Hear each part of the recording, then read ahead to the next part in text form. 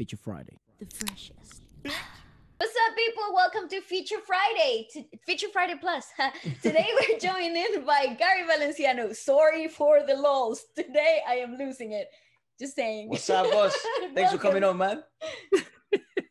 it's good to be here with you guys. And I, I want to thank you already right now as we start off just by thanking you for, you know, I mean, reviewing some of the stuff that I've put out. Not only me, but all the others, you know, who just pour their hearts out into what they do. You know, it means a lot to us. Uh, well, it's an it's absolute pleasure. pleasure. man. Like Honestly. it's uh, I, th- I, think we were talking about it not not not long ago. Um, and I think we, we actually spoke about it with Kiana. I think a, few, a few weeks ago. Mm.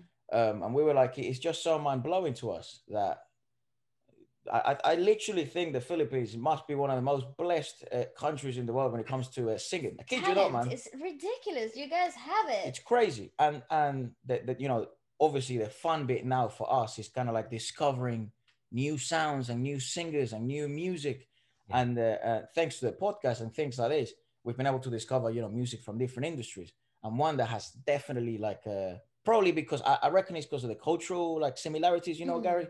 Um, yes but it has captivated us more than most of them. So it, it's just been an honor, man.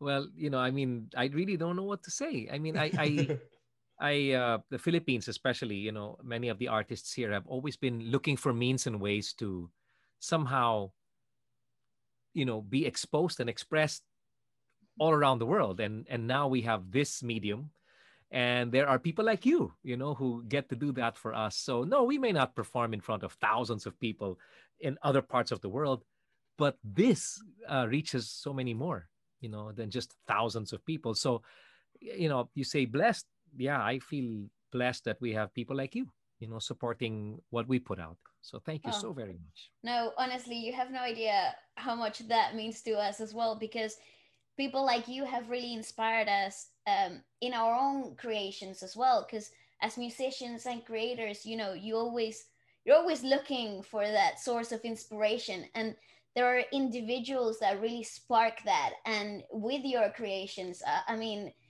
it, they, they just reach a different level you know that there is such alignment when it comes to composing and translating that into lyricism. It's it's really mm. admirable. So thank you again. Let's just say thank you to each other for an hour.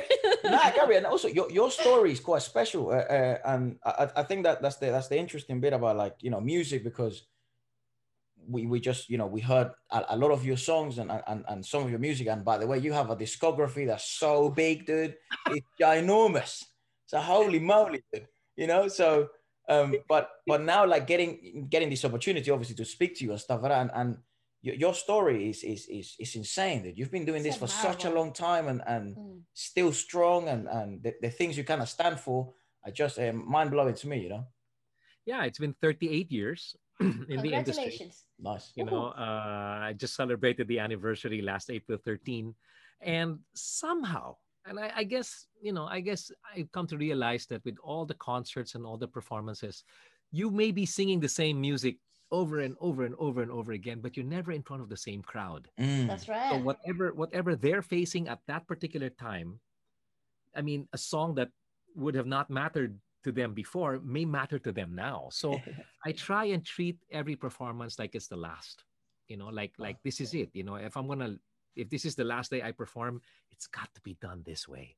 You know, um, it, it can be in front of five, 5,000, 50,000, 500,000 people, but it's really got to come from only one source. And, and that's here because people can see right through, can see right through you when every time I'm on stage or even when I'm on television or even here, you know, when I'm on, when I'm online and it pays to really make sure that it doesn't come from just here.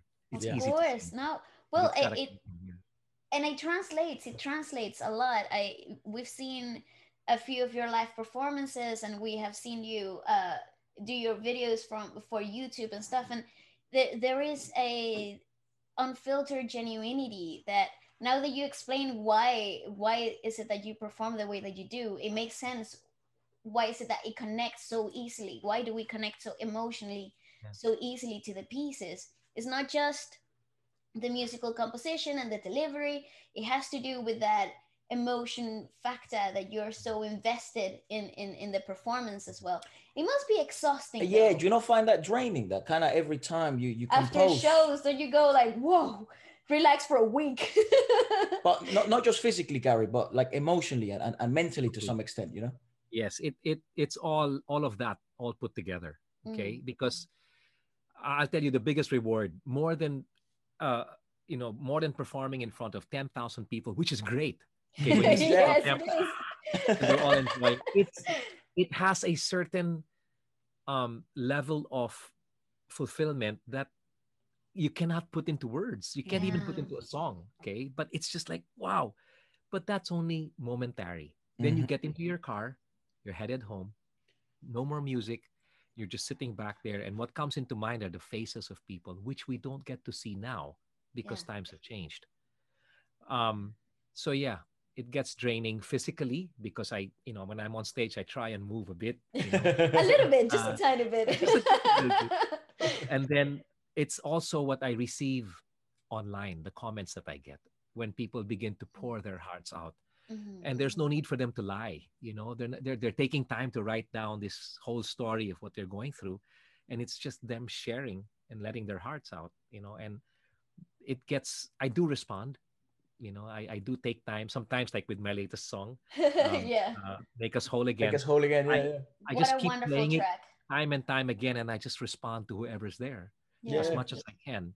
And I and I always try and compare that to somebody like, for example, Michael Jordan, who's my top, you know, he's, the- he's the goat for me, no? Nice, nice. But if he if he reached out to me and just said, "Hey, Gary, you know, thanks for the support," you know, yeah that's, of course that's gonna leave a lasting imprint in my heart. And so if I can do that, if I can do that for others, you know, then I think then you go beyond the call of duty. You go beyond Mm. just performing and then okay, bye, I'm done. But you really get to meet people at the point of their need, which has been done for me in the past many times before.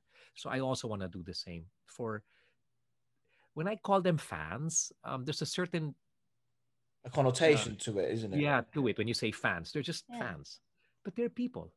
That's These are people who reach out and who just hope to hear something. And if I don't reach out to them, they may read my response to other people, and that may apply to them as well. So you kind of hit many birds with many stones, you know. Well, in a the- This is kind of like, uh, and, and this is what's interesting uh, about you, Gary, that because you, you've been doing this for a while, where you've seen the evolution and also technology, how it's taking hold of, of music. And, you know, thi- this was obviously impossible just 15, 20 years ago, you know, Mm. at, Oh, yeah. at, at this level. Yeah.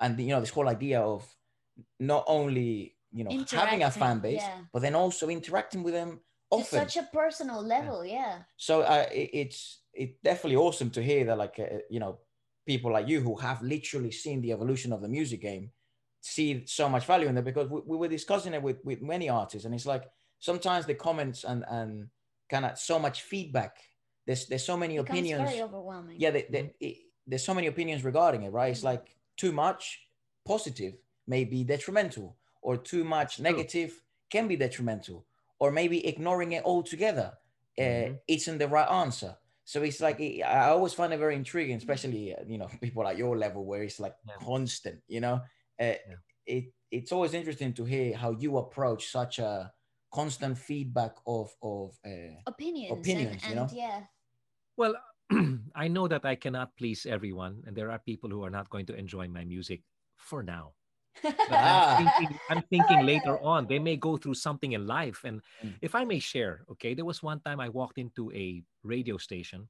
This old back in the day, I mean, um, like early 2000s or maybe late 90s. okay. And the DJ had a microphone just like this, okay? And he was um, talking to the audience on air and he was saying, Hey, we have a very special in studio guest and he'll be with us right after, you know, we take a break for a while. So he started playing the commercials online and he looked at me and he goes, You know, Gary, I'm here today because of you. I never met this guy before. oh, whoa. And he goes, Yeah, I, I used to be um I used to be a drunkard. I, I used to take a lot of drugs and I was a womanizer. And so my wife said, I come home one more time like that, and she's gone. So one day I came home exactly like what she warned me about. I came home drunk, high, and I walked in and she took everything from the furniture to the kids, everything. And because I was so high, you know, it didn't hit me like much at all. I went up to my room, I opened my drawer, and I pulled out my 45 caliber. And I cocked it and I put it against my head and I pulled the trigger. And he goes, You know, Gary, 45 calibers never jam. Mine, mine did. So I decided to get into my car and just drive as fast as I could on the main highway and just smash my car onto a post and let's see what happens. Mm. And as he was driving, now I have to take you back in time because what was sticking out of his car was a CD. I know that's kind of old school. It was, it was my CD that was sticking out of the tray. And um, and he remembered his wife telling him, Why don't you listen to this song? It's Gary Valenciano's song. Because she could see he was going down yeah. downhill. Mm. And so he looked at it and he just put in the song. He put in the CD, and the song that he listened to was Take Me Out of the Dark Oh my Wow. god. from back in the day. And then he looks at me, and that's why I'm here.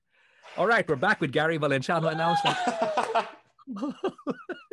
but you see, it didn't play a role at the time that the wife was saying, listen to it, but it played a role at the time that he almost Later. Took his life. So these are real stories, not you know, not fabricated. And the thing is, you know, when I write my music, it got to the point where I would think, wait, maybe I can write a pop tune. Maybe I can write something that would just get people up on their feet and all. But that's not what's been coming into my heart. And I'm not forcing myself to write inspirational music. It's just that there's a sense of knowing that that's what people need at this Mm. time. And it can be the simplest of songs, it can be the fastest, the craziest, the most dramatic, uh, but it's going to speak to someone. And that's more than enough. If even just one, you know, just comes and responds and says, Thank you, I needed that right now. Ah, okay.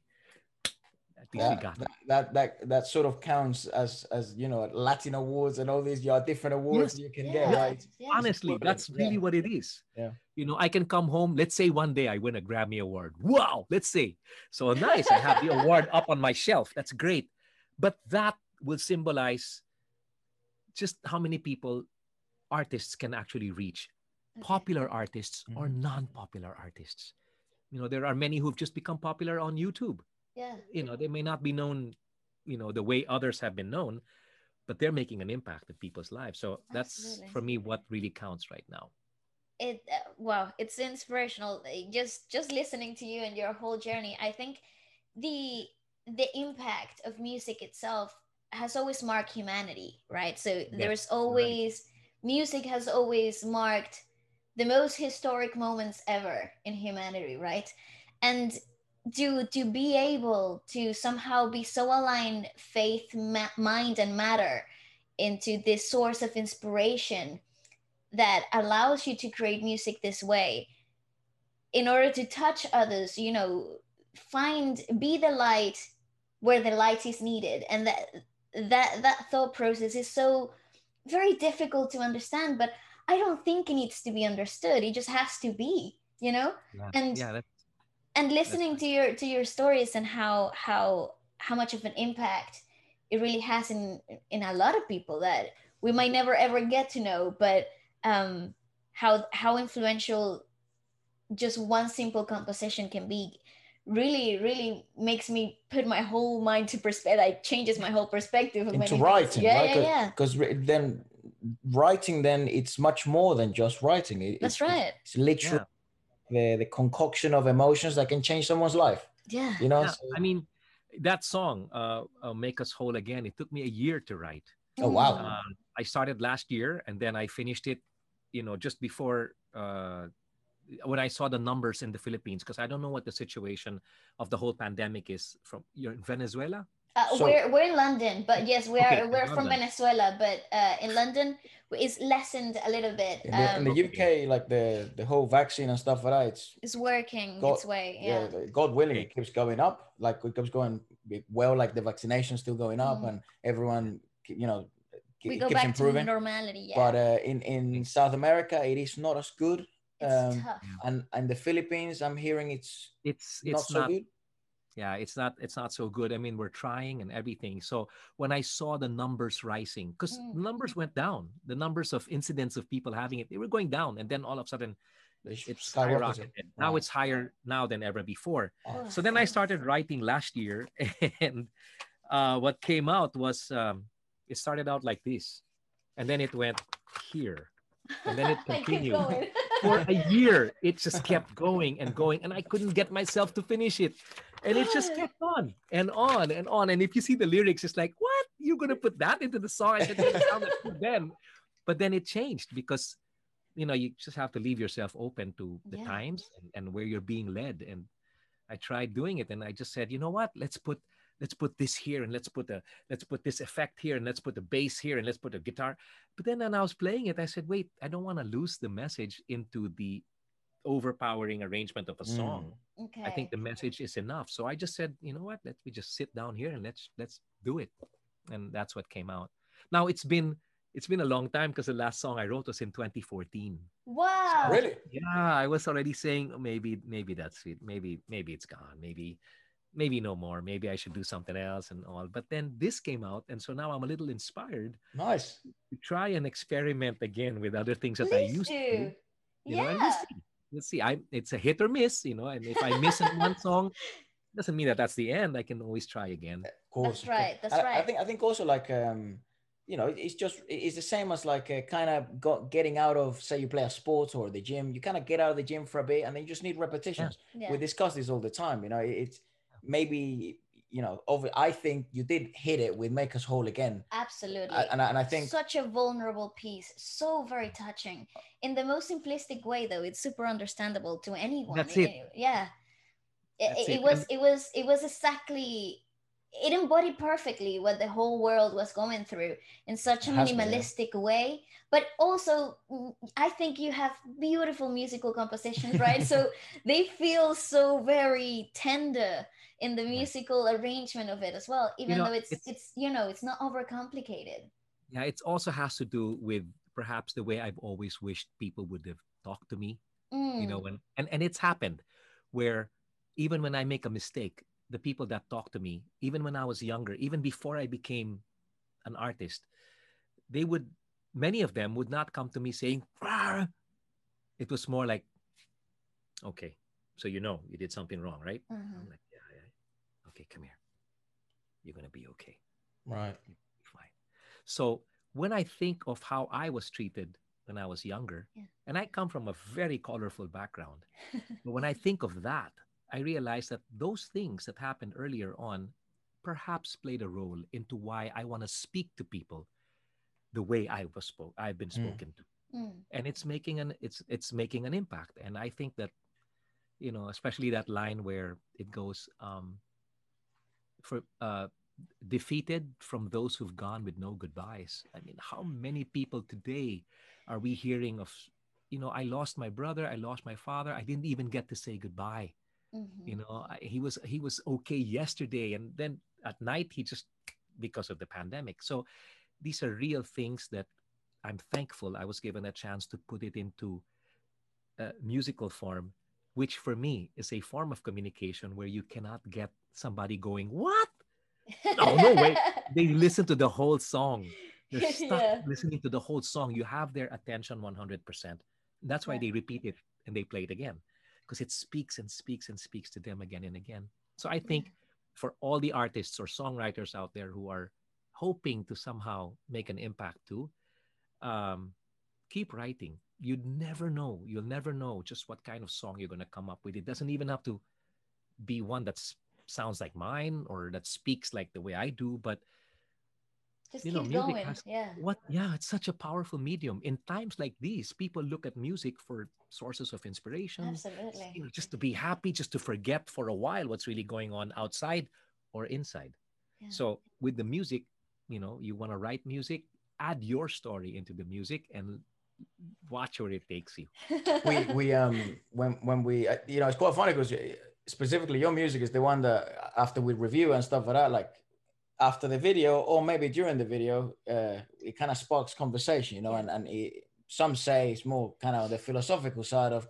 conversation where we kind of start wondering and and questioning things that are not usually questioned and we kind of go down that rabbit hole right?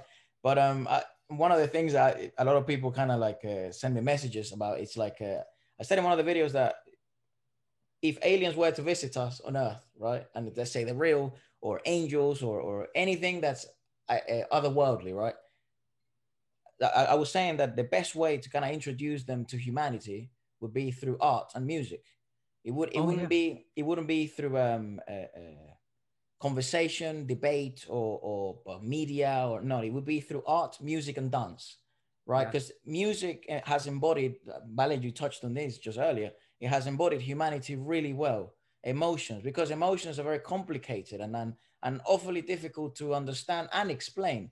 But you can feel them way easier than you can explain them. And music has that capability. to translate. You those can listen to music that says nothing.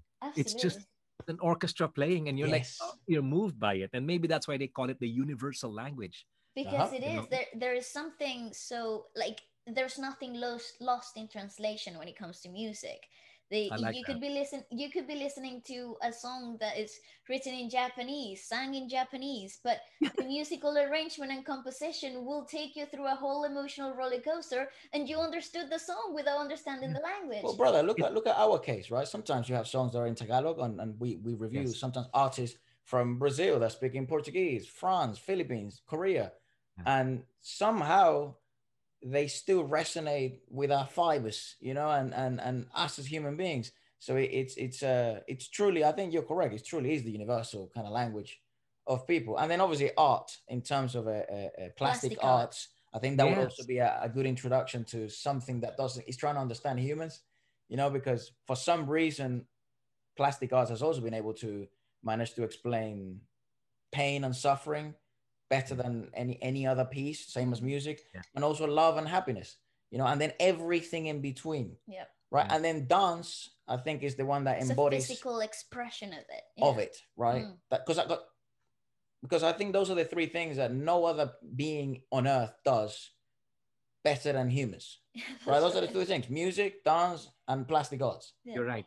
I You're might I might put in that category. I've been thinking about this lately a lot. And I, literature i would add literature into the whole equation sure, sure. I might add sports to that as well. do you? Yes, I might. I may just add sports into that uh, into that presentation to my alien friends when they come and visit us, Gary. No, I, I think that the fact is sports, like when when when when a team makes the winning goal or the winning shot and the way people react. Yeah. I'm sure if any if any supernatural being or or alien were to see that, it's like What is that? We don't have that. What, what is that? They, they, look, we, we can't describe what they're, they're shouting, which can be associated with anger, but this is not about anger. This is about Elation. inexplicable Yeah. joy, you know, Yeah, elation. yeah. Yeah. It's So yeah, I agree with you. I agree with Uh, you. You know, I, I'll never forget. Every time I'm in the U.S. when I go on tour, Nice. of course, my audience is mostly Filipino, Right. but the, the staff or the cast or uh, the, the staff or the crew of the concert or of the venue, be it Mm. a you know a theater or a casino, they're Americans, whether white or black. Some some, some of them come up to me and go, uh, "Yo, dude, um, that song, um, that one where you you know your voice, man, dude, that I got right here." I know. I know I may be a bodyguard, but oh, you did something to me tonight. Oh, give it up, give it up. And I'm like, well, are you serious? Which song was it? Oh, that it's a duet. It's it's the a good accent. it, Yeah, yeah. brilliant. That- that's our father on the on the production chair, uh, Gary. Hello, sir. he says But hello, you know, that's that's how it's been, and it it really you know more than when I go up to my room, hi, thank you. When I go up to my room, I'm smiling, you know, and you know sometimes when I arrive, you have these like one time, okay, one time I was in the Middle East. okay. and they were so strict Yeah. in the Middle East as to what time I should be on. And I was allowed to sound check at 3 p.m. Ooh. summer in the oh Middle East. Whoa, dude. So I put the mic against my mouth and oh, oh, you know, but I had to sound check. That's the only time I was given. We were worried that the mixing boards would melt in the heat. So anyway, so these bodyguards, there were like six of them, you know, looking like this, and they're telling me, "Oh, where are you going? Where are you going?" I said, "I'm I'm going to the stage and all." Okay, you only have uh, 30 minutes to do. Okay, fine. So I did everything I had to do. Then the concert, God. and I was in front of people, and I told the Filipinos in Tagalog, I said, "Listen, I know the security is really tight, but let's show them what fun is all about, shall we?" So the Filipinos were like, ah! and then I was making them. I sang a song called "Shout for Joy," okay, one of my old songs, and it's an inspirational song. Shout for joy, sing His praises, lift your voices unto the Lord. And I was telling the audience to join me, and when I pointed to one side, the same bodyguards were also doing this. and I was like, yes. no way. and then they came backstage and it was a completely different attitude and character that they had you know and, and they were like they went to my wife and said uh, your husband is like the like the uh, he said something like uh, like he's like like the best in the world he's like the superman of uh, and i was like what He said that seriously and they took me out to the car and they were welcoming me they wanted me to come back and these are the things that really make me miss what it was like Yeah, yeah. I was gonna the day. ask you, yeah, I was gonna ask you, how has the whole virtual development of, of performing really like affected you? Because I know there's a lot of a, a lot a lot of uh, artists like we've we've spoken with a few and they they really missed i personally miss going up on stage and and seeing a few people dancing up to what i do. And and uh i i don't know i maybe you feel the same. How Especially- how's the whole uh there's online? um in the beginning when i Yeah. first started doing online concerts it was a challenge for me because we couldn't bring anybody here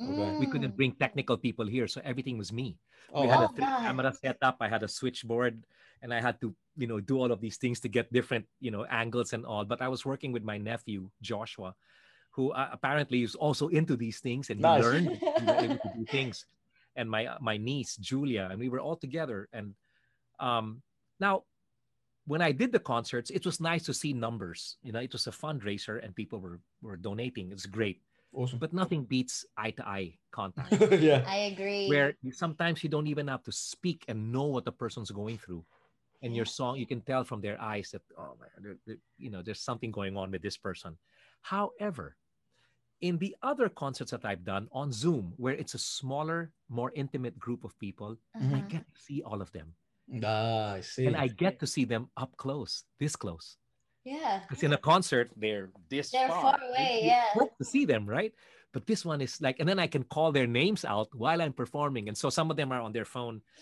and let's say Waleska, I say, uh, hey, Waleska, yeah. oh, and my they- they- they God. shout he he called, he made a shout out, and I'm like, yeah, you know, and because I can see them. yeah, yeah. It's hard though, and I think that honestly, I think the next time I'm given a chance to be on stage, I'm just gonna ask the band to play some amazing ethereal chord and just let it fly. And I let I just want to stand up there and just Enjoy. savor Take it all in. being with people again. You know, and I'll just say, "Are you guys ready for this?" Because I'm I'm been looking forward to this. You ready? Yeah. Nice. Oh my god, I, I'm already ready. yeah, no, I, Right? I agree. There is just there's something there is.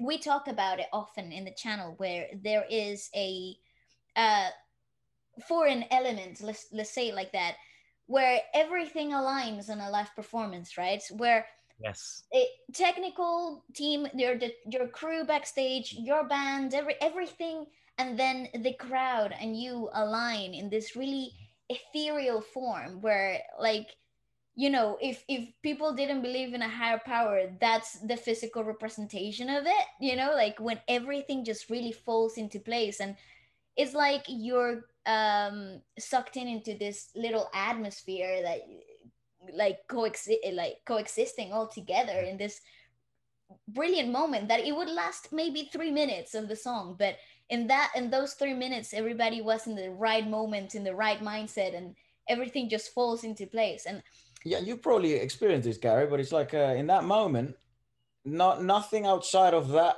mini world that you've created matters. that's Right? right, It's like it's like the rest of the world doesn't exist. It's just irrelevant, yeah. that that That presence. moment. That moment with my audience. That's it. and you, you have them by the palm of your hand you know you can you can say and it, and it really matters to me what i say on stage Mhm. um, because many times foreign acts come to the philippines but they just do their songs Sure. and i don't know if anybody tells them hey listen these guys speak english pretty well so you can speak yeah. english even if your english is broken just speak because especially in the philippines we want to hear we want to know more about the artist sing your songs but we've heard your songs time and time again Sure. we want to hear you say something Mm. well th- that's the whole reason why we're doing this uh, the, the feature Oh, friday wow. plus and having having the opportunity to get to know the artist on an unfiltered setting uh, totally honest and and and kind of unedited, just conversation. I think that's why podcast. I mean, it, podcasting wasn't our idea. I wish I could have the I could have all the credit to making up, you know, radio and podcasting. But it it, it, it was it's, it's such a great idea, and especially in the last five years, where you know it, it, we've been so sort of media oriented and mm. edited and and it's kind of like a specific fabricated content that there's a specific yeah, yeah. agendas that get pushed and, and then when you get your favorite artist just kind of like just talking and being them right because it's very difficult to put on a, a mask for too long two hours yeah. or an hour or whatever you know eventually the real you is gonna come out you know and and it's it's it's so fun when when you do get the chance to speak to to artists in like an unfiltered way and just just get to know what's truly here and then yeah. how he, he, oh, yeah. he verbalize it then from here you know?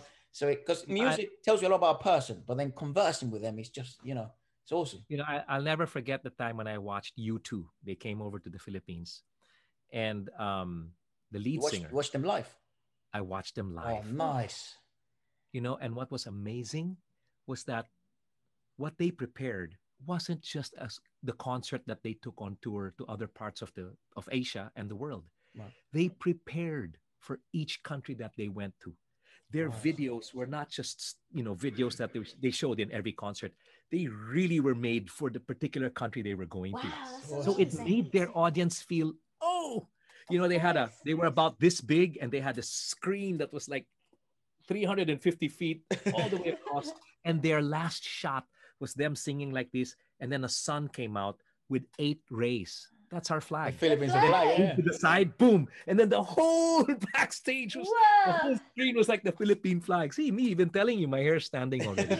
but it, you know, for somebody who's been in the industry for 38 years, to see that, you know, to see that, like you prepared for us, you know, so that's that's for me is so crucial in making your audience feel like they're not just a bunch of people that are mm-hmm. watching a concert you've done in other parts of the world you want to make sure that no i'm i'm here now because i'm here for you. This night is your night. Mm. you know there are things i try and do some research like especially when i'm performing for students okay. i try and ask what's what's the issue in this university or what's going on here?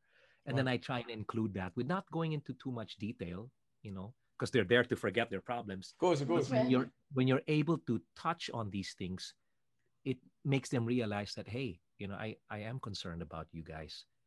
I've been doing this for 38 years. You haven't even started yet and you're mm-hmm. already going through so much. How can i help? Maybe with this song and then maybe with this song and then it does help. And i get the feedback online or they they, they send me a message that i may not have read but my team gets to read some of it and then they nice. send it to me and say hey look this one responded and this one responded.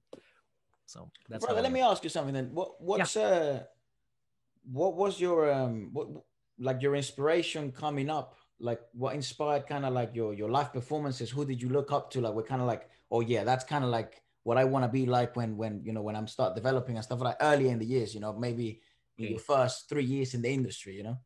Okay well my first three years in the industry were spent on doing a lot of songs. I didn't have any music then but i would do covers and they were basically of Al Jarreau, who is a jazz artist. Okay. no longer here though, and Michael Jackson. Oh wow! So nice. what I would do was I would use my voice yeah. and make my voice dance and do all the scatting.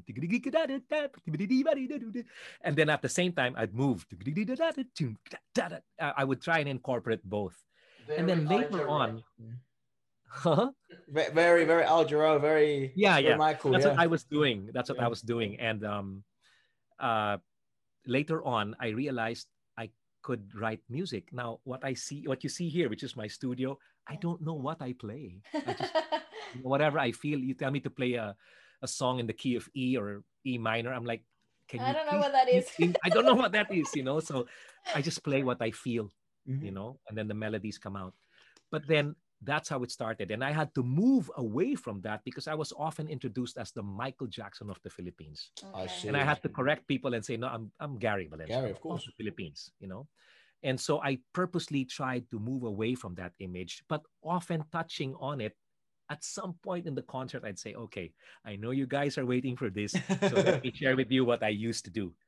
But I don't only, you know, at that time, I would listen to a lot of Earth, Wind, and Fire. Nice. I would yes. listen to a lot of Kool and the Gang. I would listen to a lot of uh, DeBarge. I mean, it's still on my playlist. And I'm working out, I'm listening to that stuff.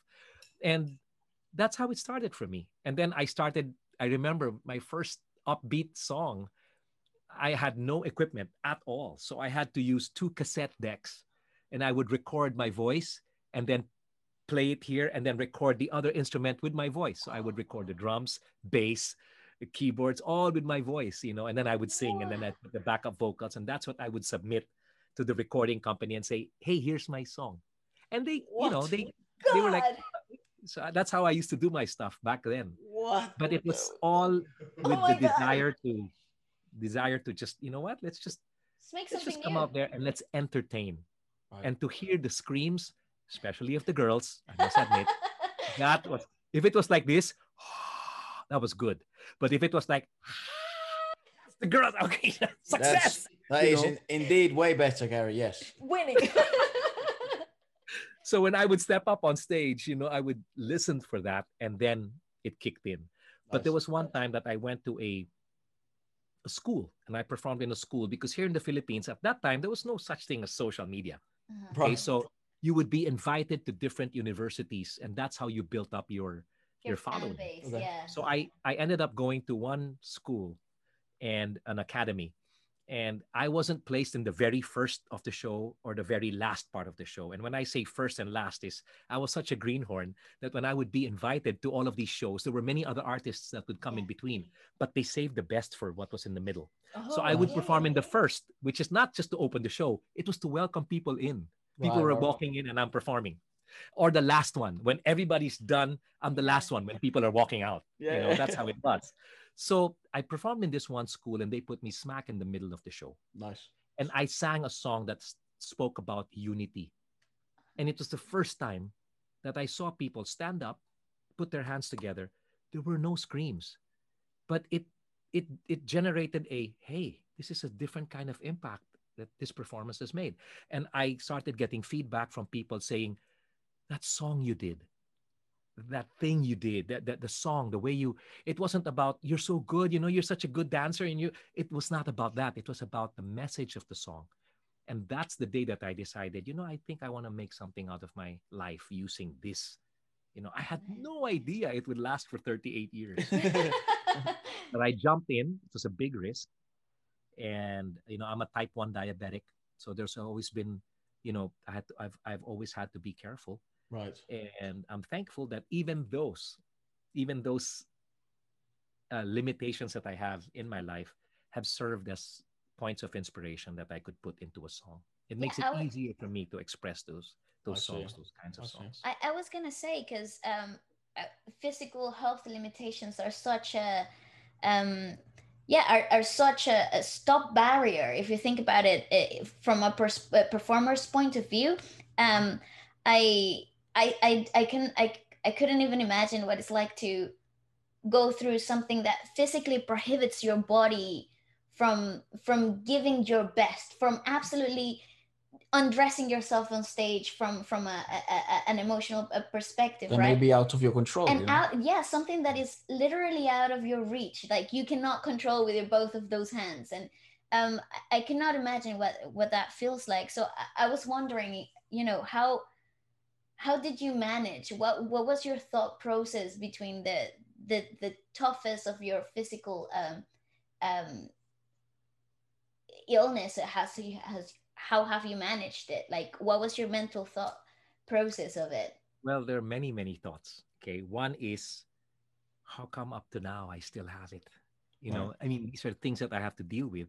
Mm. uh, but i've been blessed with a wonderful team you know starting with my wife who's who knows about my my condition perhaps more than i do because i'm basing it on my experience which right, i'm right. usually right in but she's basing it on science and medicine and you know and all that.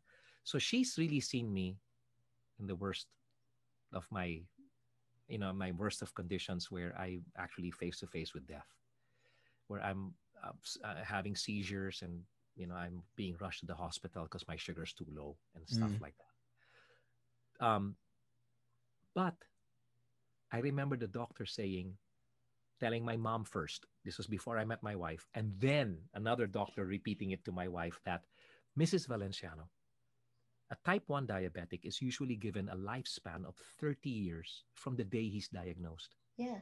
I was diagnosed when I was 14 and I'm 56 today. wow. And I'm okay. I, you know, I, I feel strong. So I'm kind of going beyond what medical books and, and, and studies have shown. You look good too, brother. Oh, well, thank you very much. You're doing well. no, but but you know, it it it makes me realize that it's a thorn in my flesh, but somehow when people see me with my condition and know that I have my condition and can't believe sometimes Yeah. what I do on stage, despite the fact that I have type 1 diabetes, it becomes more of a testimony of just God's goodness in my life. Because you're like, how do you do it? I, look, it's not me. I'm just I'm just going with what I'm led to do, and he Mhm. takes over. Because sometimes I step up on stage and my sugar levels are too high. Or sometimes in the middle of the show it drops and I forget lyrics of songs that I know by heart. Yeah. right. And I'm just like on stage and I forget lyrics and I'm like, you guys sing it. Then at the end of it all, I get a, a bottle of juice and I'm saying, and I tell them I'm open with people and I say, hey, you know, I only can take this when my sugar's low, so you know my sugar's low. So let's talk for a while. So hey, how are you? Are you guys enjoying the show? Good. Yeah, yeah, Where are you guys from? And I'm drinking at the same time, but I'm taking time to bring it up. of course. Yeah. You know, and that I guess the bigger challenge just came later on in my career. Like in 2018, I was performing on stage, on television. Oh no. It's my celebrating my anniversary, and suddenly I felt pain right here in the middle of my chest, Oh, as in pain I'd never felt before. And I was dancing with my son, Gabriel, okay. who is a powerhouse, so I have to keep up with him. And at the end of the performance, and it's on video, I, I hugged him and I said, Son, pray for me because I have chest pains. And you'll see him go like that. So I thanked people and all, and this was live on TV. And after that, I went into my dressing room and a paramedic came to check me. My blood pressure was extremely high. And several days, actually a week after, I had myself checked. And the doctor said that I had a problem. So he says, You have a block. And it's a 95% block on the left main artery, which is known as the widow maker. I'm gonna Oh, have Jesus. to go. I cannot put a stent on that, Gary. We have to go in. And I was sedated when he was doing all of those tests. I said, oh, You mean open heart? Sure, go ahead.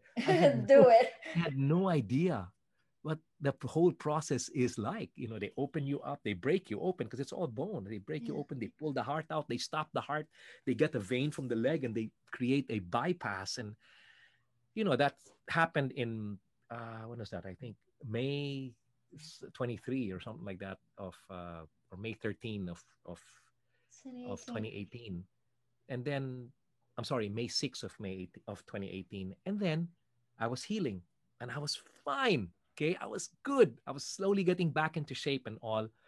And i started building up fluid on the left side of my lungs. And the doctor said come let's check and see what that's all about.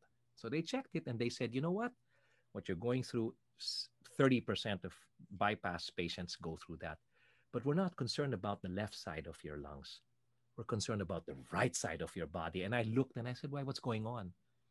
And basically, what they discovered was I mean, the doctor looked straight into my eyes and said, Gary, that's your kidney on the right. And um, you have cancer of the kidney. Uh, I was like, oh, what? Yeah, you have. You have cancer of the kidney, and we're going to have to go in again. So in May 6 was this. On June 13 was this. Holy So- moly. you know the feeling of being there in the same operating room and i was Yeah. left alone they were about to put all of these things on me to sedate me and i was just there and uh, and i really really spoke to god and i said i'm i'm i'm here again i i thought this was enough oh coupled with the fact that i'm a diabetic too and i i'm here again I, what's going to happen now and the only thing i heard inside of me was him saying, Yeah, and I'm here again with you. I'm sorry. No, I mean, I'm sorry. No, Uh, no, it's it- wonderful. Please do not apologize. This is so inspirational. Like, wow. So I went in and and I had the operation and I was back in the room and the same uh, nurses, you know, helped me out again. And I said, Hey, I remember you. And they, they- were looking at me, You're here again. And I said, Yeah. And the doctor said it was pretty big. It was four centimeters by six centimeters. So it had grown. And he says, you know what's good, Gary, is that it's it didn't go anywhere else. It's Awesome. just in your kidney. And then I remember the TV show I'm a part of, the whole cast came to visit me. Of course, there was no social distancing at that time. They came to visit me. They were asking me when I was coming back. And as they were talking to me, I got a message from the doctor saying, Hey, Gary, I have good news for you. You're totally free of it. It's not found anywhere. You don't need radiation. You don't need all of these things that usually come after treatment like that. And I just looked at them and I said, Hey guys, look what I got. I got this message. I was like 15 pounds lighter than I am now. So I looked sick. I looked sickly. But it took time for me to work my way back to that. But, you know, when I was in my room and I opened up to look outside into the city, it's like life itself became more vibrant. Reaching people became there was a there was a depth of of of the need to reach people while I still can. It might sound the same as my other songs. So what? It's not the same audience. It will never be the same audience. So that's where I'm at today. You know, that's why if you if you check out all my other vlogs, you'll see me biking 139 kilometers, 160 kilometers from my house all the way to the east coast or to the the south coast or whatever. And you can see that there's so much joy because I can still do these things and I'm enjoying myself so much. And that's just that. Now the music is something else that I've really, you know, I'm like ready to go. I'm like, let's go, let's do it. Are you sure, Gary, you can do it? I'll let you know when I can't do it. I will know when I can no longer do it. But right now, I think I still can. And um, I'm looking forward to the other songs that come out of this room, you know, in the near future. And that's why when you look at my music and you hear my my songs, it comes from way deep down inside because of so many things that I've had to face and I've had to go through. And I may go through again in the near future, but he'll be there with me again. So I have nothing to worry about, you know. There, there, there's um there's a few like uh athletes that that uh, I've, I've been listening to and actually a few artists that kind of ha- have that in common where where they've had maybe an experience where it's maybe life threatening or uh, mm. they were in a really dark place or maybe um, uh, you know they, they, they've have an illness that they've had to deal with for a really long time. And they, what they what they all seem to to say kind of along your lines uh, it, it's things things become brighter things become more intense. And you know it's you you yes. you tend to enjoy it's like that you know when you're a kid and you kind of have that giddy sense of excitement and and and things seeing the world for the first time again. Yeah because because it actually if, if it, it seems just routine seems to take off a lot of the shine and all the bloody miracles that happen every day yeah. you know and you don't notice them you know like you know right now we're so lucky like in the in the in the, the house we're recording if you look out the window it's like this beautiful tree that has like pink flowers and we see that every day you know, but but it's, it's actually like really really pretty. But because you see it every day, you're like, ah, that's just the tree that's outside the house. Yeah. You know what I mean? But that's like a that's like a miracle, dude. Like how the hell does that even happen? And that the sun shines perfectly, and yeah. and that and and and people are happy, and you go outside and you see a little bird, and and it's this kind of things. I think routine and and just lack of perspective as well sometimes just yeah. kind of takes away the shine. Yes. And then it seems people that do go through and, and see death face to face or yeah. see God face to face, right, and speak to Him directly, uh, it, it, all of these things kind of regain its color and regain its its shine. You know. When I look back at my life now, I think that maybe I was meant to go through all of these things for a time such as this, as mm. now, right. for me to be able to write music when everybody today is facing similar things yeah, very close range because yep. of the pandemic so uh, you know uh, being able to write a song like this may not it may not have happened had i not been as you know had, had i not gone through all of these things yeah. that has made me kind of sensitive to people's needs well i i think you know there's there's really no words to really explain what what emotionally and mentally one has to go through to really understand your spiritual needs as much as your physical needs oh, right because oh, yeah. because your body always needs something it's thirsty it's hungry it's tired it's happy and there's a constant need physically speaking right but spiritually and and mentally there there are certain needs that sometimes we totally neglect due to the everyday life, the, the, the normal routine. But when you are faced with things that shake your faith or make you question your own personal thoughts and, and, and needs spiritually you you become you know really aligned to what it is that your soul needs that your faith needs.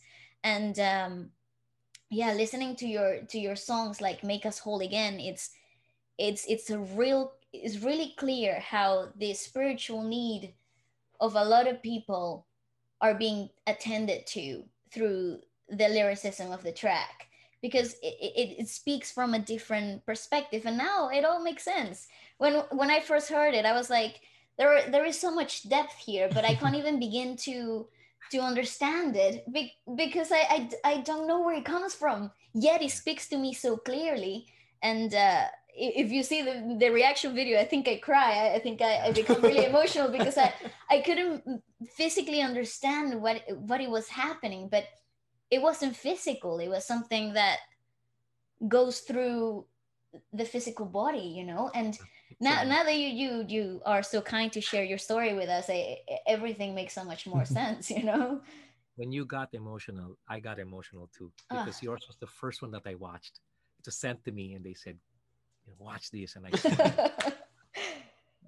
you know but these songs don't come i mean they're they're just not they're not just expressions of my uh, of what i'm feeling mm. um, these have gone through prayer and all and it's like lord just guide me if you're going to use me use me now and speak through me and make people know that like it was with me when he yeah. said oh i'm here again too make them know that through this song and so I believe that when you reacted, even if you didn't know the background, it wasn't really me speaking. It was already, you know, it's just a spiritual connection that he was saying, hey, you know, for whatever's going on in, in your hometown and where whatever's going on in London, I'm here. You know. Uh, it's it's so very prevalent. It's you, so um, very prevalent. How, how, how do you uh, keep yourself kind of like uh, grounded and, and, and such a maybe it's spiritual alignment do you, do you meditate do you is, is it through the form of prayer um, uh, what what kind of what kind of habits and I, and I think maybe sometimes uh, you know through through maybe you sharing what you do I'm, I'm sure a lot of people can also find maybe habits that they can make and and and and uh, discover or, or dip their toes in you know I um I am not I want to make people know that uh I'm not like someone you say that has his halo on all the time. okay, because like any light bulb, it does go off every once in a while. It has to be fixed and replaced and repaired. So I'm not. I'm far from perfect. But um, one thing I can say is that again, I have good people around me that check on me, that that do pray with me, that challenge me. You know, where are you going to go now? What are you going to do now? What, where do you think God's telling you to go and all? And I'm just thankful that the God I serve is a God who takes all my questions and he doesn't look down on me. So when I go, I've been working on this song for a year. Are you even sure you want this song to come out? I have, I can't finish it. Look, I can't finish it. I have so many pages. I, yeah, I know, I know. I have to wait for you, and I know you want, you have your will and all. But can you just, can you help me be patient enough to wait on you because I feel that timing is now but his timing always goes against the grain. Yeah. Okay. So I have a very simple, yet I must say, deep relationship with him. I read and I have a hard time reading because I'm not a reader. So what I do is I go online and I listen. I listen. Nice. Audiobooks. Yeah. Okay? I like listening to music. I don't read music. I, yeah. want, I want people to hear my music, yep. not read my music. So I'd rather listen yeah. In fact, I have cer- certain podcasts that I may release, I may or may not, but these are two minute biblical stories. Oh, two minutes. But the music behind is a scored version of Take Me Out of the Dark. There's right. one that's going to be Make Us Whole Again, but it's it's it's like a movie thing, but it's all audio. All you know, they say medical I mean the doctors say that when a person is close to death, the last sense that goes is the sense of hearing. Right. Okay. That's what I heard. Um, so I feel everything that I do audibly, it's got to be clear enough for people to hear, even if they're at that point already, but they're about to go. Because I just feel that it's quite important to maximize what I have now Mhm. for this time. That people are stuck at home, at least here in the Philippines, okay? Mm. They're stuck at home. When they're out, they can't even come close to each other. And somehow, social distancing has somehow been equated to emotional distancing. Yeah, yeah. Yes, So, I you know, agree. we're socially distant, so we tend not to reach out to the people we don't we no longer see. So that's how I keep myself on track.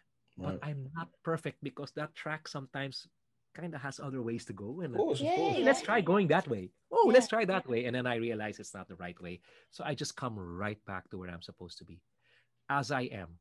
I'm not trying to pretend, you know, I come before God and say, hey, I'm not like that.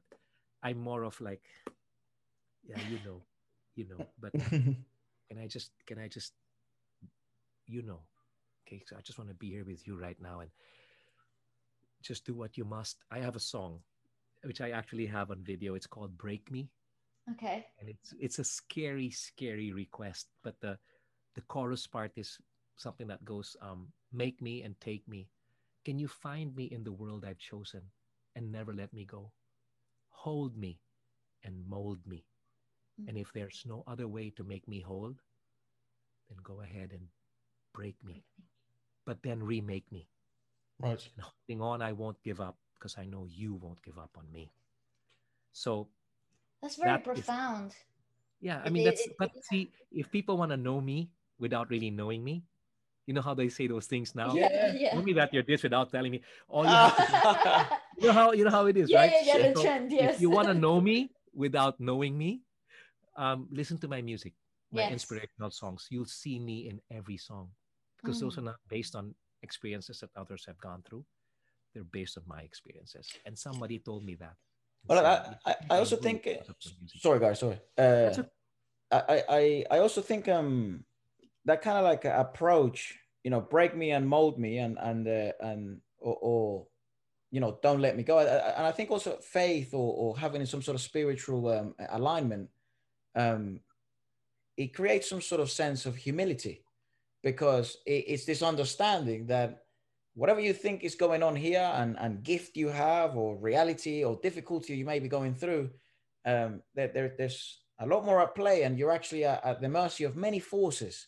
And and you, you shouldn't also be afraid to ask or, or to repent or to or to Yeah. uh, um you know speak as if he's he is uh yeah here with you as, as you create or as you go through through difficulties you know yeah.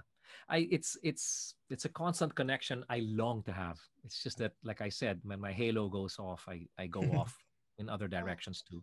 And the thing is every morning i was oh i'm, I'm often reminded that in every morning before the sun rises he's already there. So yeah he's just yeah. waiting. You know, and when they and when when they when people say come close to me it's it's more of the opposite. It's you just walk up to him as you are. You don't need to yeah. I have Well- a song actually called "As You Are." You know, you no need to be a hero or a superstar. You just there you go as you are. As you are.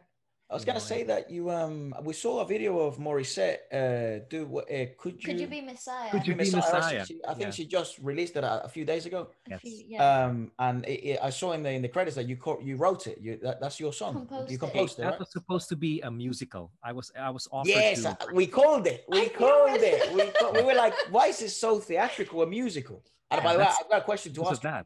yeah but go on yeah. Uh, I was supposed to write all the songs for the musical, and the and the songwriter, his name is Freddie Santos. okay. um, Freddie came up to me one time and said, Gary, I have an offer for you. Would you, you I, I'm really thinking that you can be a part of this musical, but I want you to write all the songs. Okay. And at that time, I was thinking too much of my career. So I said, Right, you know, right, Freddie, I, uh, I, maybe I can write one or two, but I can't.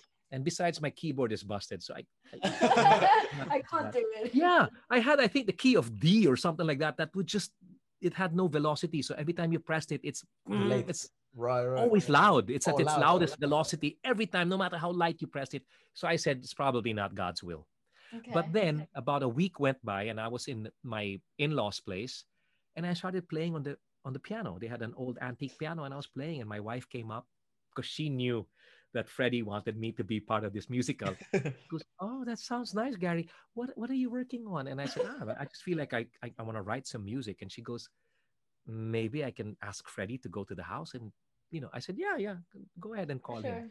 Call him. He, com- he comes to the house, and it's like he just gives me the lyrics, and I put it in front of me, and I said, "Okay, let's see what we can do.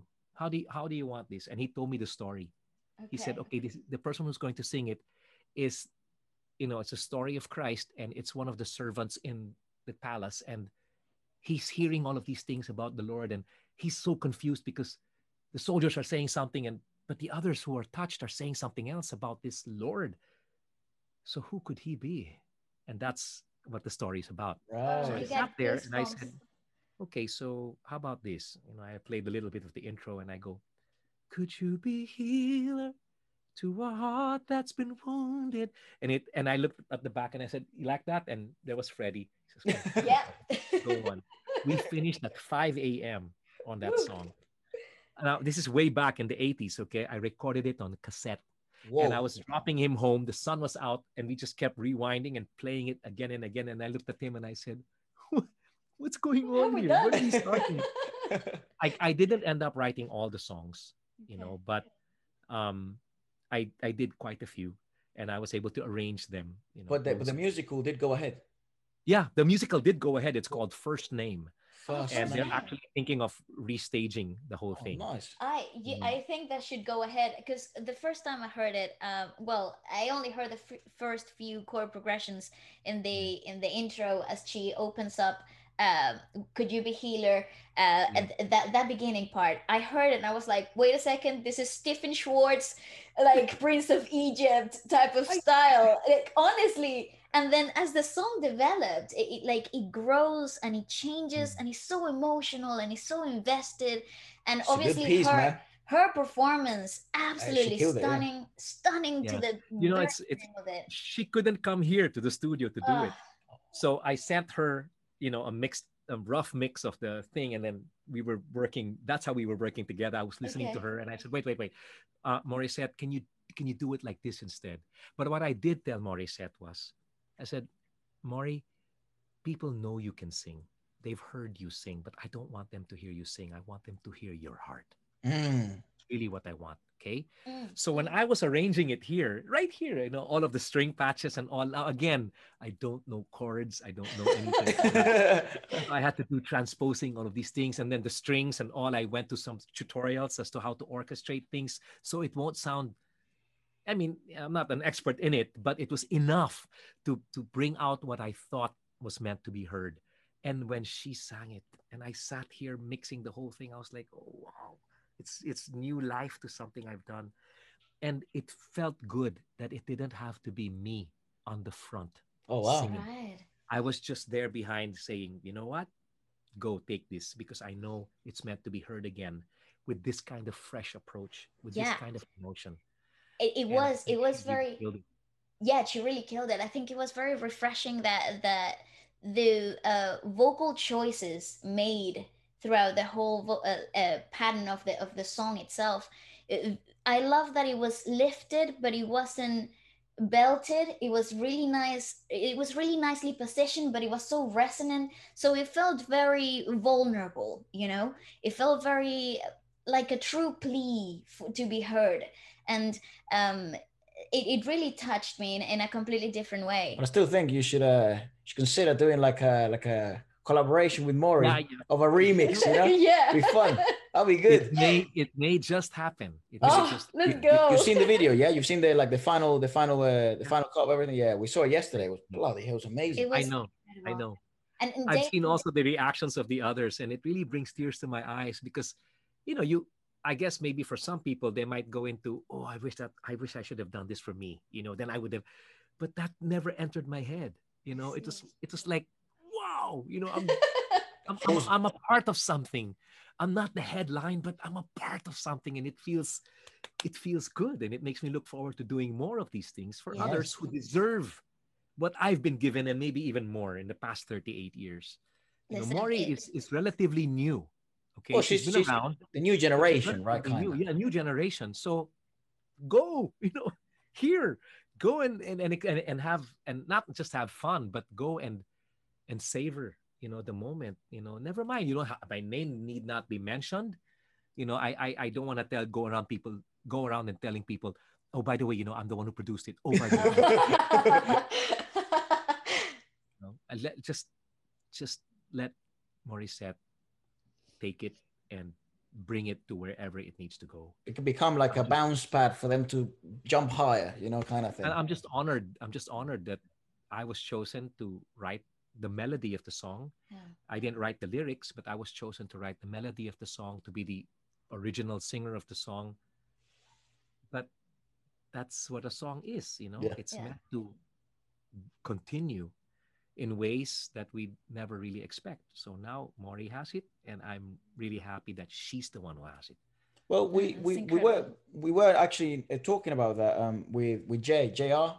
and uh, we we're just discussing like um, you know this new generation of of artists, especially in the Philippines, which is they're super exciting, all of them, man. Like Bugoy, Yeah. obviously, uh, uh, you know Inigo, Kiana, I think is very Kiana, exciting. yeah, I know. Um, obviously Mori is very exciting. Uh, Michael, you have KZ. KZ. very- Of KZ is scary, dude. Like Ah, yeah. KZ is scary. She Actually, is. she's I think she's might be my favorite artist. I think we've discovered in the last year and a half. Yeah. absolutely. That that lady, it's I, I think she's dangerous, dude. Like you know what I mean? She's world, world a domination. small package with a huge voice.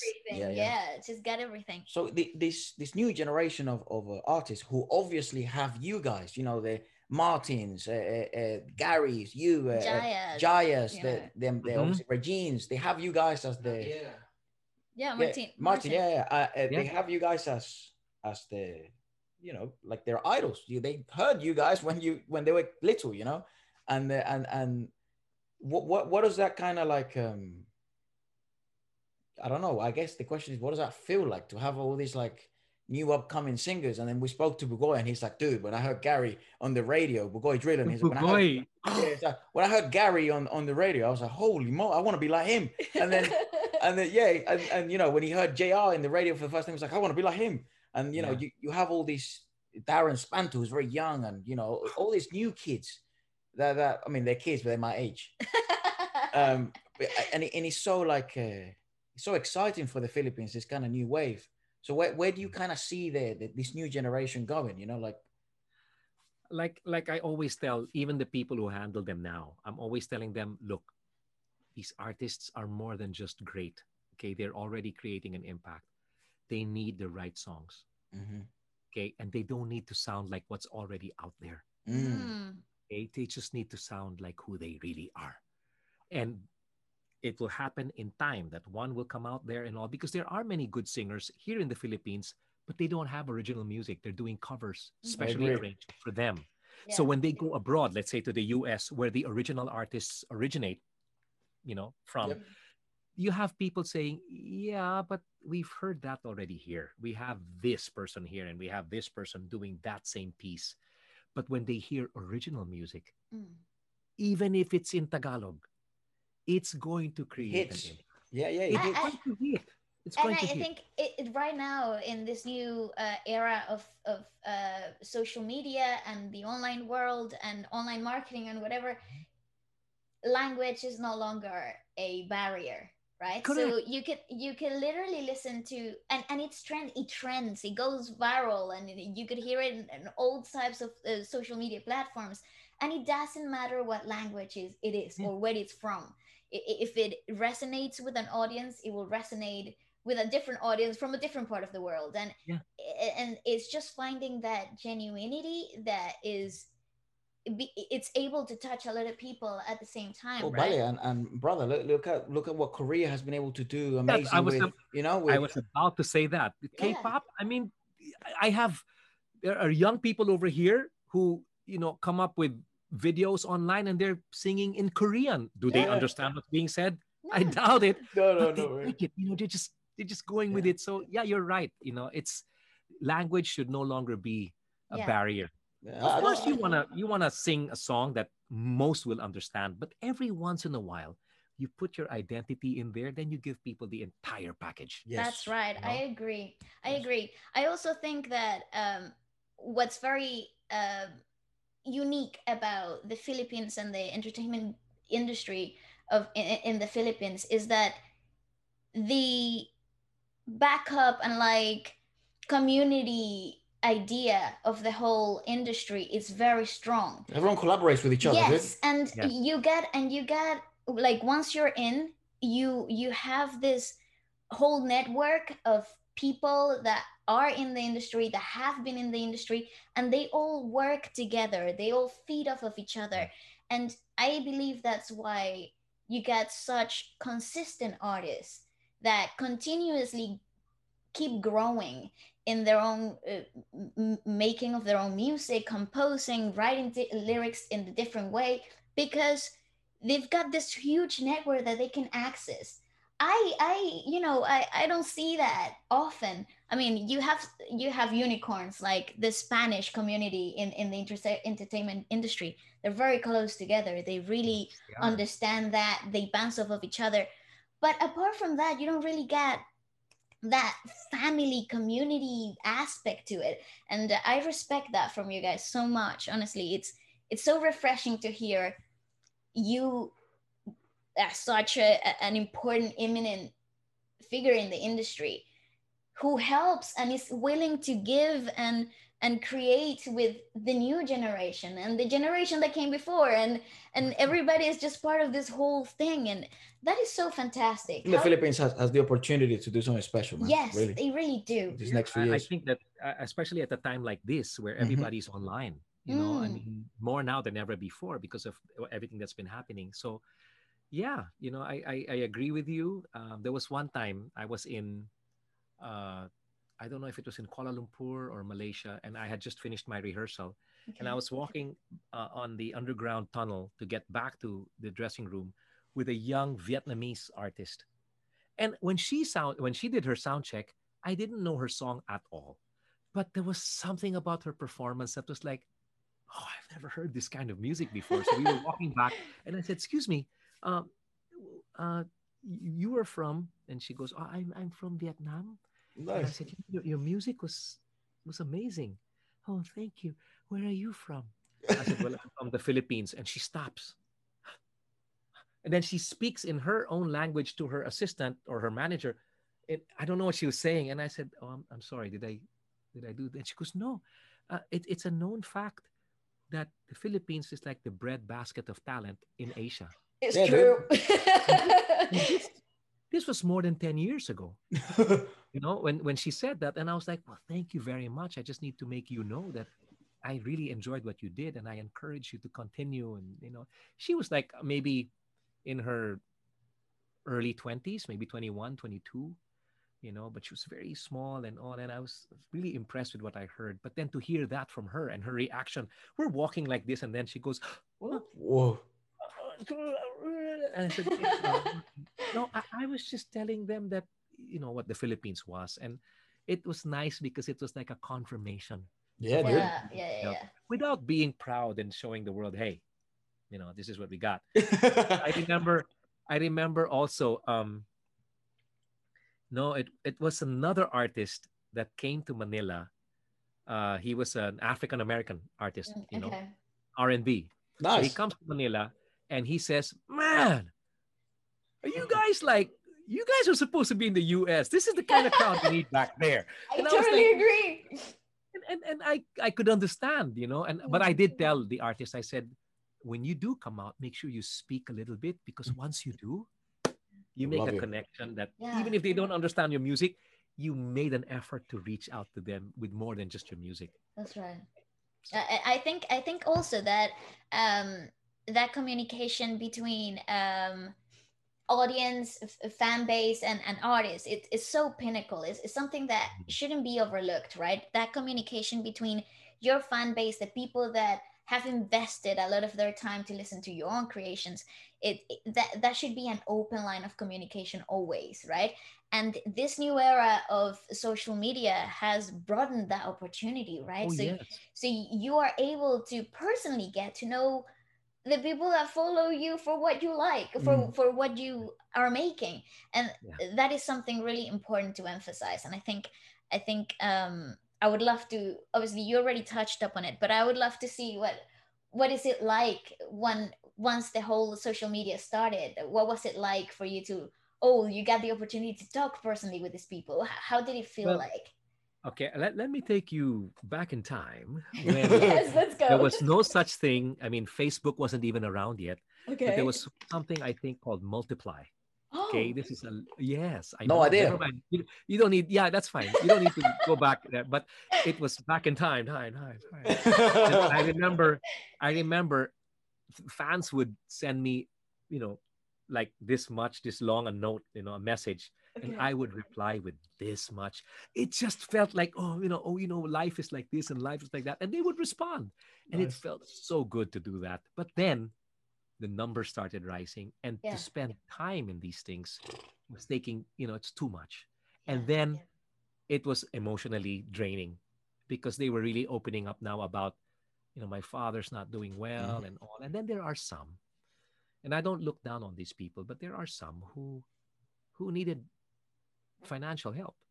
You know, it got to that point, and you have to be mm. careful because anybody can pose as someone who needs financial help. Yeah, yeah. But I have a team now that that works on these things. But when the whole social media thing started, I'm a late bloomer. Okay, when it comes to YouTube, I always felt, you know, if my songs are being played on Spotify, I'm okay, and we've got the concerts that we can show that I'm okay. But then my sons were saying, "No, Dad, you have to put out something that that's just you you know that people don't would not normally see yeah, even yeah. if it's mm-hmm. you just in your studio and all and just just do something that with the songs you already have and so when i did take me out of the dark that was the first one that i released last year right. uh, i just said you know what I, I was not fixed up and all i just brushed my hair back like this and i sat there and i said you know let's just just take me, put the camera there. If I'm a silhouette, never mind. They don't have to see my face. It's not about my face, it's about the song. Yeah. Back. Played it, recorded it, and that's what came out. And then Fantastic. it generated so much, no? So mm-hmm. it was an eye opener for me. You know, only last year did I say, okay, let me let me let me really see what I can do. Not because of the numbers and what I can earn out of it, but because of the numbers of how many I can actually reach. Yeah, yeah. Mm, absolutely. You know? Yeah, yeah, so, yeah. I... And it feels so personal, right? I'm sure you've experienced it now. Like it's so oddly personal. personal like every yeah. time, every time, you know, it says like 200,000 views, but it's like one, like that's, that's, that's actually 200,000 people that actually watched the video. That actively yeah. went and clicked on the video. And that have 200,000 different stories, 200,000 different upbringings, 200,000 different families. To have try and get 200,000 people to watch your concert. Yeah. live. It's not possible. Yeah, it's just one song. Yeah. And you have 200,000 people. Well, I think Take Me Out now is like, like it's like two point something million. Holy yeah. moly, guys. You have two million people. What? yeah. Okay. But again, I want I want everyone out there to know that that's my argument with my team sometimes because you know, of course they want numbers and all, and I and I understand that, but I'm more of please don't make me think of numbers. Make me just think of what my what my intention is, what my calling is, and that's what I need to fulfill. And honestly, I'll be as open as saying some of my friends come up to me and say, "Okay, Gary, you know, um, our company wants to have a like a private party. You know, uh, this was before, okay, okay. Like before the COVID happened. You know, we have a maybe a, maybe about 200, 300 people want to watch you in our company anniversary and all. How much are you? How much will you cost? And I always tell them, I don't know anything about that. that. Because once I do, yeah. Can you imagine me saying, "That's it? That's all I'm gonna get"? No, I'm sorry. Yeah. You know, well, well but Gary, we wanted to hear your song, this and that.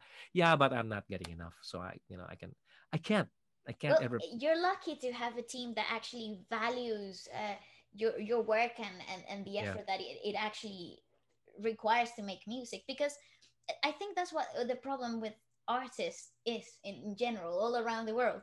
You get artists are artists. They become people invested in the making and creating of things right? So we shouldn't worry about the physical outcome of it. And that's the reason why like we have a saying back in venezuela like if you want to be a musician be prepared to starve. Right? So like be ready to starve because because I think musicians and, and creators kind of lose perspective of how much their effort is actually worth. and because music and and creating is uh it's Abstract. such a yeah it's such an abstract concept like how Mm. can you measure how much your effort and the making of something it's really worth like uh, Yeah. it, it, it is a very iffy thing so you know um i find peace of mind when i know that artists like you have a very good team that are looking out for the well-being of the artist so the artist can totally become engulfed in the making and and not what actually represents physically anymore you know And and you know, some people might actually say, "Yeah, it's easy for you to say, Gary, because you've been in it for 38 years now." yeah But if I didn't have a good team, I wouldn't have been around for this Mhm. long. i totally agree Yes. with that I would encourage, you know, that you you guys get a good team and then always have an open heart, an open heart and an open mind. Your your ideas may not always work. Yeah. Have enough right. room to hear what the others have to say. Of course, it's going to Mm. depend on what you really want to put out there, but it just helps when you are able to have that openness and that room for, you know, other ideas, other creative juices that can flow from other people. Absolutely. you know we we um so, something that I, I i enjoyed talking to to kiana about was that kind of how family and business comes Works. together you know Mhm. like when, when we were kids we would be in, in music 24 7 and, and we toured for a really long time for about really seven nine years when i was a Mm. kid you know three to i was 11 and it, it's a bizarre time in your life you know you're basically a kid i'm a kid i don't understand what money is i don't understand i just like toys girls and superheroes that's all i liked you know so it, it- and then ballet was in a more peculiar scenario because you were six to 15 that was like 15 years right old, so you were in a more complicated world you're a teenager now you know so Mhm. and one of the things that i think we were very lucky to is to have our family be our agents be our uh, managers Mhm. be, yeah. uh, the be, publicists the people that were behind it the producers be everything Right, you know right, right. and and it, it when, I think because we were kids, it wasn't very difficult. The dynamic, it was just we do what mom and dad says. You know Mhm. that that's what it is, and you can truly trust what mom and dad say because they're mom and dad. And and one of the things that we we saw happen to a lot of our friends is when they grew, so when they went 11, 12, up to 21 years old, and now they're artists full time and they're also adults. Uh, sometimes I think the best thing is to have family together and be part of your team. But what you what we noticed was that you start going more independent, you know, because you become an adult, right? And and you became a parent while in the business, you know. So what what was kind of like that experience like, and then also what it's like now having three gifted artists at home, you know, and and you know their journey, obviously them having you as a as a guide, but what is that you know what is that like to to be a parent in the industry and then also to guide them as they want to become artists Okay. Uh, complex question i know but once upon a time in a galaxy far away. um, I entered the industry, and it was quite scandalous actually when I entered because I was 18 years old, wow and people were, you know, Gary Valenciano, and it was me, Martin, and another guy.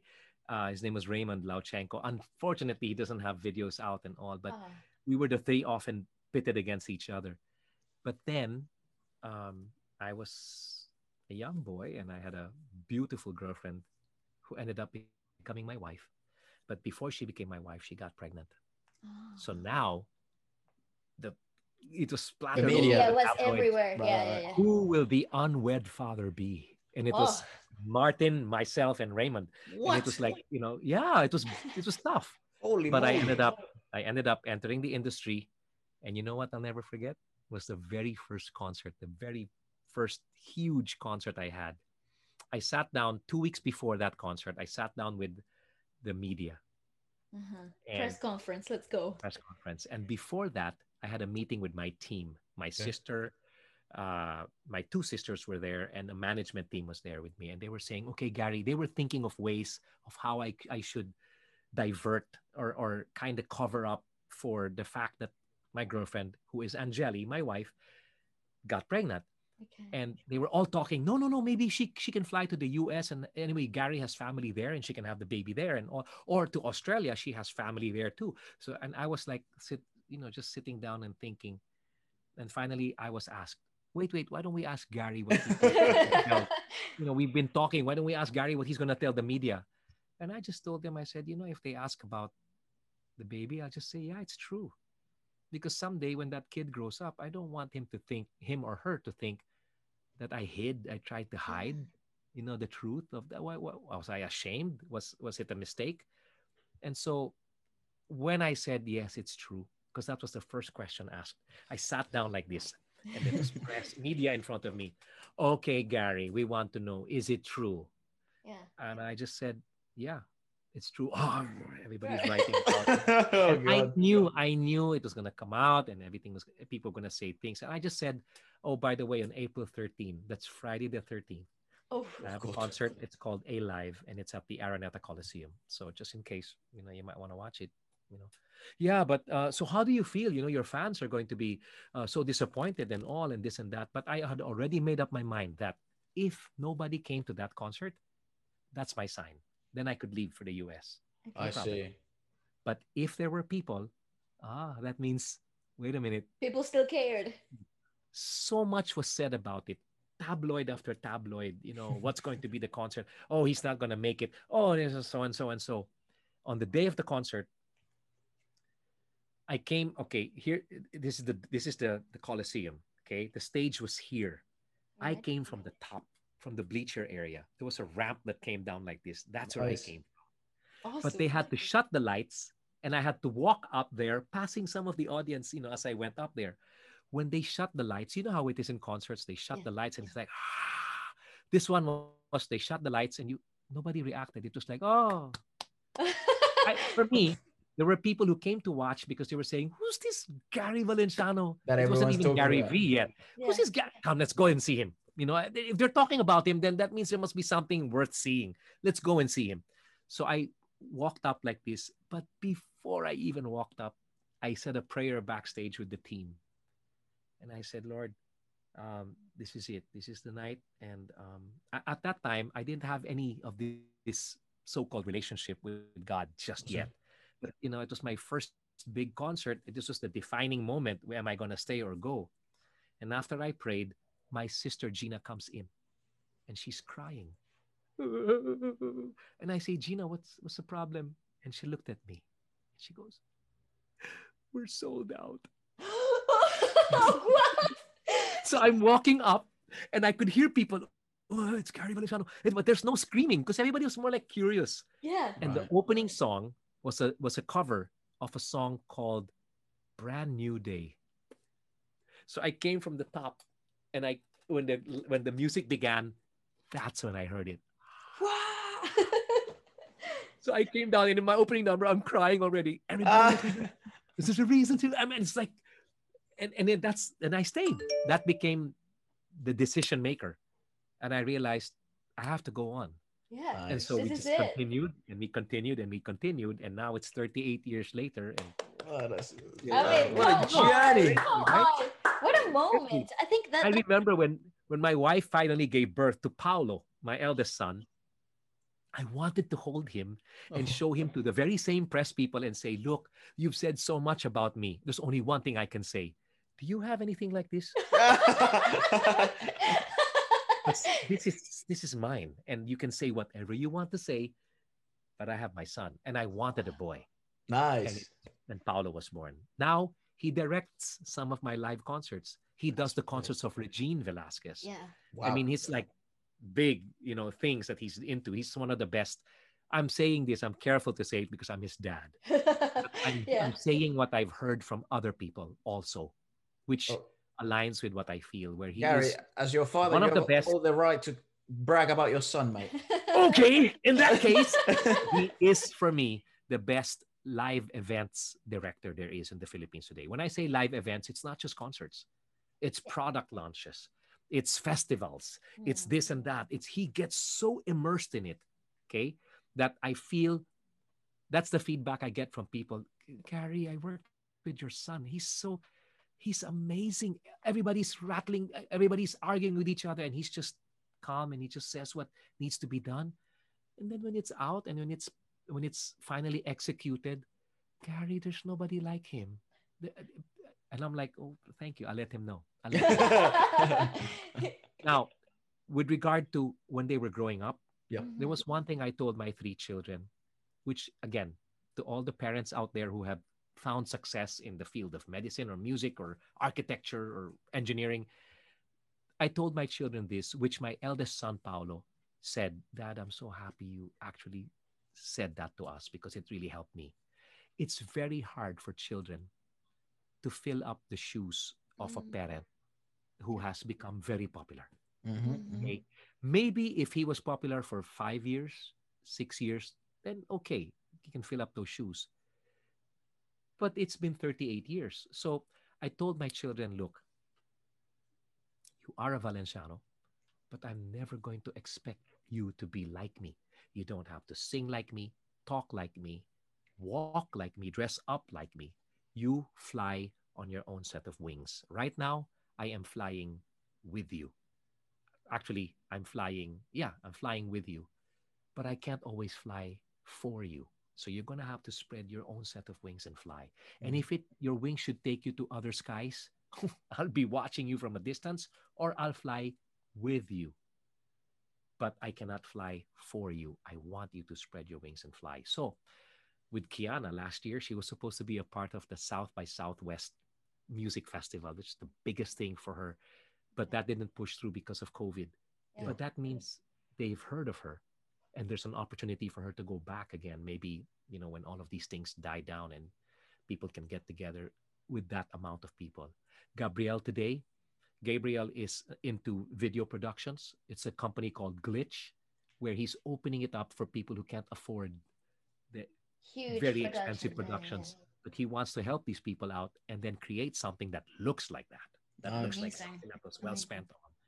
Paolo, struggling now because there are no live events Yeah, I- Mhm. I was thinking about that. Yeah.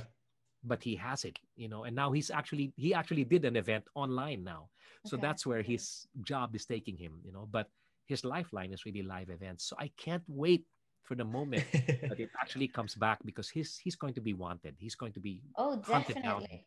hired you know left and right Well, i- i- it also is the demand of people. I think the minute that everything goes Yeah. back to normal, people are going to be hungry to socialize, to be part of something, to feel like they're part of the, the live stages again, the festivals, anything that relates to being one again, like community, that that thing. Yeah, I think, And- we, I think we're slowly getting there. Like uh, last week, the UFC. You know, maybe, I don't know if you watch the UFC, Gary. They they yeah yeah yeah they put out their first live event, Yeah. world, you know, live sport event at full capacity, fifteen thousand Yes. people in Jacksonville, right? So I think it was Yeah. sixteen thousand, and now you know, That's two weeks from now they're going seventeen thousand that's again. madness. That's madness. Uh, so um, i think even the nba they're starting to bring fans into the games it's just Yeah, that the yeah. fans themselves are like uh wait uh maybe not yet but Yeah, there yeah. are they're starting to fill up little by little yeah. yeah. here, I'm here, really hoping. I'm really hoping that you know it happens again soon because I have an offer to go back to the U.S. in September. So to- exciting. You know, to go on tour, and I'm like, Ooh, okay, let's see. I think, to be honest, Gary, I think like September in the US, yeah, I think that they're there. It's definitely gonna be different. Like the landscape's gonna be different from here, like summer to September. We're, we're re- I- it, it wouldn't be hopeful thinking to say that. Yeah, you most likely are gonna be touring probably in Oh. September. Well, I, I hope everything aligns for you and like the, everything goes back to the way it should be and the way that you want it to be. Uh, I mean, this has been incredibly inspirational. I don't, I don't even get to understand what, what just happened. And I, I, I would like to thank you from the bottom of my heart personally for sharing so much with us and, you know, creating another source of inspiration for myself. And, and I know the people here right now are just as inspired. It, it's um it's a true honor. So thank Brother, you so just much. uh, any Yeah. anything you'd like to promote, anything you'd like to yeah, share. yeah. I well, I have some things here. Uh, you can actually follow me on on YouTube, on Spotify, uh, on Facebook and Instagram. It's just Gary Valenciano, and on Twitter it's Gary Valenciano one. Okay, now pe- some people call me Gary Valenciano, some people call me Gary Valenciano, but Uh-huh. then I'm just Gary V to most. But on my accounts, it's always Gary Valenciano. okay. Nice. Um, and then, well, make us whole again because of these two over here. They've kind of been able to make it go out there even more. Uh, it's out on all my online music platforms. And then there's a show called ASAP or ASAP Natin To. It means the show ASAP stands for All Star All Star Sunday Afternoon Party. That's a bunch of artists. We all come together for a regular Sunday show at noontime, uh, and it's that's online too. It's Oh, nice. Casa Yeah, Natin To, You know, so we're there. You're, you're a host there, aren't you? out. Aren't Sometimes, you like a host there?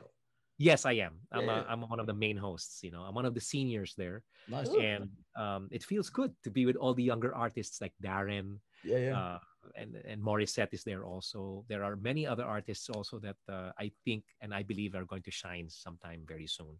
And then I'm part of a show called Your Face Sounds Familiar. I know it sounds funny, right? Your Oh Face no, Sounds we've seen Familiar. it. We've seen some of We've the, seen the. TNT lads, uh, some of the Yes, TNT boys yes. uh, The TNT boys. There's another contestant there that's present now. Her name is Klarisse de Guzman. Yes, I. She's amazing too. Is that, is that the little blondie? No, no, no. Klarisse de Guzman, we've seen her uh, collaborate with other artists. I'll show you later Yes. just to refresh your memory. Yeah. But yes, absolutely insanity. That show is hilarious. I love it. It's crazy. You know, we're there. It's great. And it's like, what? We don't have an audience, but we get a kick out of laughing at each other. Definitely. At each other. It's amazing. They, they, it takes time to put that makeup on and to stay in that makeup throughout the day. You know, it's Yeah. not easy. But amazing artists. Well, you know, people forget how long it actually takes to be on TV, like how long the shoot, the, the, the hours of shooting actually require. So you you might be there. Uh, people might see you just for the Sunday afternoon show, but you're there probably every day Yes. that week, filming several shows and for amount of crazy amount of hours. So You're it's right. uh, I appreciate your hard work Well, for the know, sake of speaking about speaking about shooting videos, I'm actually going to shoot a video. I don't know if it's going to be here or outside, but I'm doing a new song and it's Oh, a nice. new collaboration with Lea Salonga. oh No way. wow! Yeah, it's it's been recorded already. Oh So God. we're shooting the video soon and it has a lot to do with heroes. Oh, nice. It's, another, it's an inspirational song, but it's an honor to have done it. It's actually there. It's on the track now, but I have to, you know, Yeah, yeah. We'll, I'll we'll, let you we'll guys hear it restrain. at the right time. But um, yeah, uh, so I'll be doing that. You can watch out for it. It's coming out soon. Well, know. if you'd like to come back and talk about it anytime soon, you're more than welcome. This is your house, and uh, Yeah, just let us yeah, know when it releases, uh, Gary, and we'll absolutely check it out. Yeah. Got all, all our support, man. Absolutely. a hundred thank you so very much. You know, Oh, I, I. I really, really enjoyed this time tonight. Thank you for just allowing me to speak. I don't know how much is going to be edited. but None. Nothing, Nothing. nothing. Everything goes. Seriously? like- Yeah, it's, it's a it's a Did you say man. anything wrong? Did I, did I miss? I might have said something wrong. No? Damn, Anyway, man. It's so you did cool. fine. Everything was honestly. I, every single part of this podcast is such a gem. Honestly, it's a jewel. I bet- Anyone to listen Wow. listening to this. What was it? I think we did a. I think one we did. Yeah, we did one with Jay, uh, and and he was like, I think two hours long, Jr. Yeah. And he was like, dude, I can't believe it was two hours. And we were like, dude, if you, if you if you see some other podcasts like the Joe Rogan podcast, oh my god. that guy goes like for four hours. He's crazy. Seriously. Seriously. But because it's like this conversation, right? So you're not really pushing like, oh, there's a set of questions or anything. So it feels like you're just yeah. conversing. Then the conversation just flows for however long. You know, the idea came from Gary, like in in when when we did a lot of TV interviews. Mhm. I think my biggest pet peeve was what I thought were the best bits. They would always take them out. Yeah. And then you- yeah, I and I, and I would want to choke him. I'd be like, dude, what are In you doing? 38 years of my being in the industry, it's happened Oh, I'll yeah. imagine. more, Yeah, yeah. more than you know, Yeah, Yeah. I, I remember when we uh, when I used to host radio. Uh, a- a lot of the stuff, even radio, is a lot more unfiltered, Yeah, right? Like a the bit. whole concept of radio is a little bit more unfiltered. But I remember we would uh, like we would be recording for hours, and then you know It's a 20 a minute slot. Yeah, it's a 20 minute slot with like three set of breaks that are five minute each in the, breaks, and you're like, you didn't even hear half of the conversation. And yeah, so the whole idea of making Feature Friday Plus in this setting is that we actually get to converse and understand the, the, the artist's perspective. But, but the mind blowing bit, brother, is that people, People actually watch. stay until the end. yeah. Like they, they, they really like it's unbelievable the amount of messages that come. Oh yeah, th- this little bit like an hour and thirty-seven minutes or two hours and fifty minutes. I love that bit of the come, and I'm like, what? You stayed for the whole thing, and that and that's like the majority of the people. So it's, I think maybe just, It's just how it's evolved. maybe And yeah, maybe it's Yeah. a say on on, gen, you know, that there might be a need for genuine long Yeah. format content. You Mm. know, um, because it, it seems everything is so fast and quick at the moment and processed. and processed. Yeah, kind of edited. So yeah. So you know, if this is all if this is all part of the new norm, then I would probably say it's not just part of a new norm, but a better norm. yeah, I would Mm, agree. agree. Where people you can capture people's attention, and we're just talking, Yeah. but people right. want to stay glued and and and want to learn and know, maybe get encouraged, inspired, and all. And Yeah, that's I kinda know I my alley. Did. I know I definitely did. So thank you again so much, Gary. What a pleasure. Most And welcome. Anna, and um, we will totally be looking forward to any of your future projects and welcome back absolutely anytime you like. Well, everybody, Gary Valenciano, man. Thank you so much. Thank you, everyone. bro. And hey, Dad, thanks, uh, thanks so much. Bye. Sure, thank you. Hi to the family. I'll do that, sir. God bless you guys. Keep Let's on see. reaching out. Oh, and by the way, wait, I needed to. Uh, yeah, I just want to say that you and I, you know, we we have something in common here because I can see that thing, and I just wanted to congratulate you. Thank you so much. Let's go, lads. Fantastic. Congrats. It's all in the family now. It's all in the family now. Go, I love that. Here we go, Gary. We'll um we'll, we'll send gifts to each other when we all hit a million. Hey, hey, man. Fingers crossed, man. I'm not gonna forget that. I'm not gonna forget that. Absolutely thank you not. so much for the support that you've given Kiana. No, no, no, no, dude. no, no, no. So very much. You're, ma- you're making it sound like she doesn't need, like she doesn't deserve it. She's an absolute joke, dude. And and the funny, Her music is just so great. I know, I know, I know. I It's know, I know. fantastic. It's just that I'm her dad, and you know, when I see people supporting her, I'm like, yeah. Yeah. Ah. I, I'm telling you, I, I don't know if you watched the podcast, but it was like uh, I, I was so surprised that I had actually come across her music before. Um, I and think we, we four had years already, ago. Yeah, we had already added it to our common listening playlist, and we didn't know who she was. But that was before the the whole idea of Feature Friday grew, and, and kind of the idea of discovering music from all over the world.